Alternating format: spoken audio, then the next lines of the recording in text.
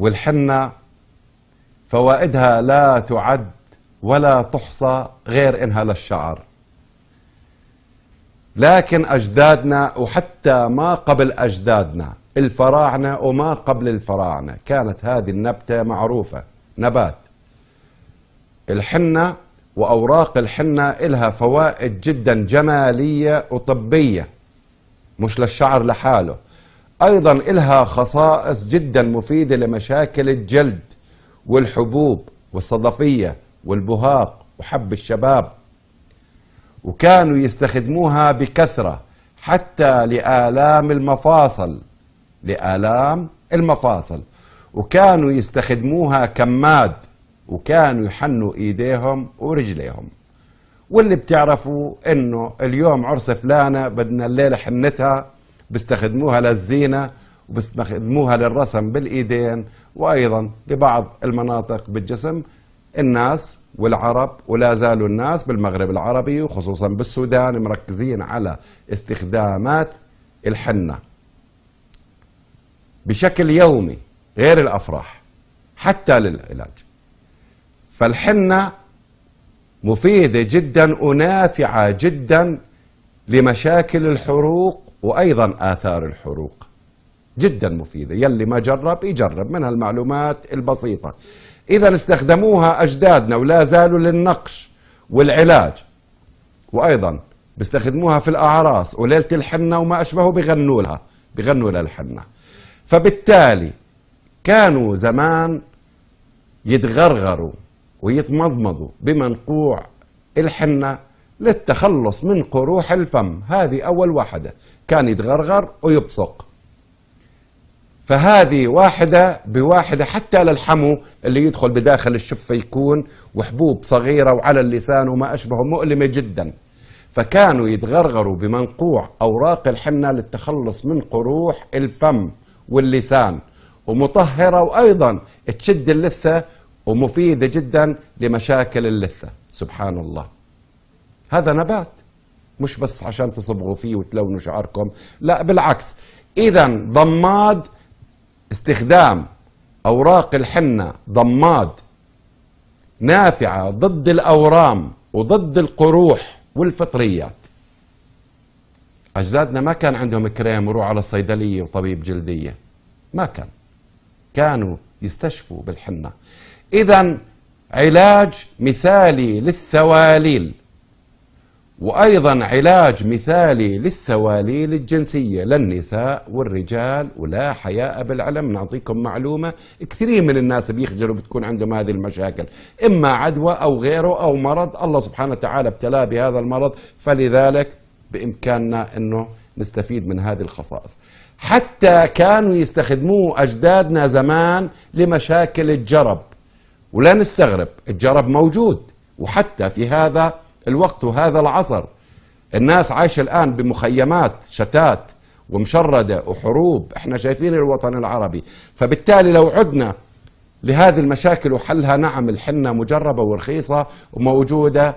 وين ما كان بإذن الله سبحانه وتعالى. يكفي أنه بتنضج أي التهاب جلدي وفي صديد.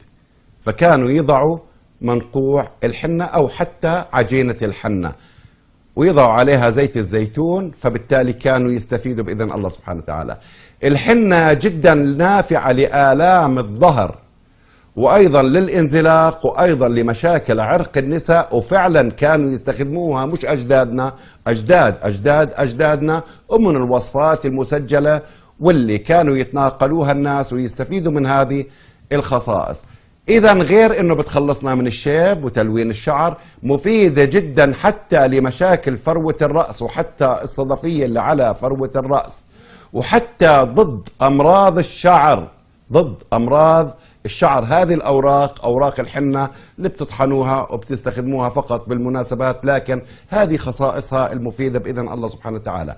اذا كانوا يحنوا الرجلين وكانوا يتخلصوا من رائحة القدمين. وكانوا يتخلصوا من الفطريات اللي ما بين الأصابع وكانوا يستخدموا من أوراق الحنة وعجين الحنة حتى للأجزمة أجزمة القدمين والإيدين دائما مالك يا حلوة محنية إيدي ليش شوفي تحسنت من الأكزيمة والله ما خليت ولا دواء. فبالتالي نعم كانوا يستفيدوا من هذه المشاكل. أيضا كانوا يستخدموا الحنة وعجينة الحنة للتخلص من الجدري وجدري الماء وآثار الجدري يجدروا الأطفال. وكانت الناس يكون عندها الجدري وكانوا يستخدموا المنقوع أو حتى الكمادات فبالتالي كانوا يخلصوا من هذه المشاكل وخصوصا الأورام الجلدية. الأورام الجلدية. وأيضا مشاكل المفاصل كانوا يعملوا كماد على المفصل بالصابون برش الصابون وأيضا يخلطوه بالحنة بأي نوع من الزيوت كانوا يضعوها على المفاصل فكانوا يحسوا بنتائج جدا مفيدة بإذن الله سبحانه وتعالى. فوائد الحنة وأوراق الحنة وعجين الحنة وماء الحنة مفيد جدا للتخلص من مشاكل الثعلبة. هذا المرض العنيد اللي بيصيب مناطق في الوجه وأيضا في الشعر وأيضا بصير في عندنا فراغات ومشكلة وبتمدد بتمتد المشكلة وأيضا بتسبب مشاكل نفسية. فبالتالي نعم استخدامها كانوا لهذه المشاكل ومجربة بعون الله سبحانه وتعالى. إذا الثواليل على المناطق الحساسة مجرب والثواليل وين ما كانت إن شاء الله أنه بتفيد.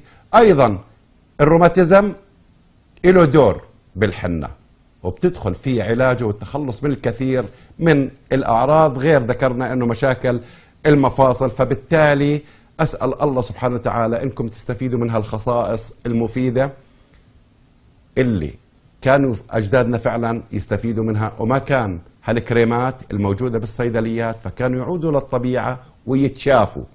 وما في أضرار على أبدانهم. والحنة وخصائص الحنة للرجال خصائص لا تصدق خصوصا أنه يحني أسفل القدمين. مقوية للرجال واقرأوا عن هذه المعلومة بتجدوها معلومة صحيحة بإذن الله سبحانه وتعالى غير أنه كانوا يستخدموها لمشاكل فروة الرأس وأيضا للتخلص من الشيب وأيضا لتلوين الحنة وكيف ندخل معها أوراق الميرمية وأيضا نغلي معاها الشاي الأسود ونعجنها معاها للمشاكل وأيضا نضع عليها البابونج وأيضا الكثير من الوصفات اللي كانوا يستخدموها أجدادنا وكيف يضعوا خل التفاح الطبيعي ويخلطوا فيه الحنة. فبالتالي أسأل الله سبحانه وتعالى أنه نكون قدمنا المعلومة السهلة ونعرفكم بالفوائد الطبيعية للحنة وحتى إلها استخدام داخلي. أنا منعت أني أتكلم عن استخداماتها الداخلية لأسباب كثيرة. لكن خصصت أنه أتكلم عن فوائدها الصحية والعلاجية والجمالية وأيضا مشاكل الجلد وأيضا مشاكل المفاصل والروماتيزم رائحة القدمين فطريات القدمين أكزيما الإيدين والرجلين أيضا مفيدة جدا للمفاصل والروماتيزم والروماتيد وأيضا الحنة قاطعة للصداع استخدامها. نحني وين ما بدنا في جسمنا قاطعة للصداع.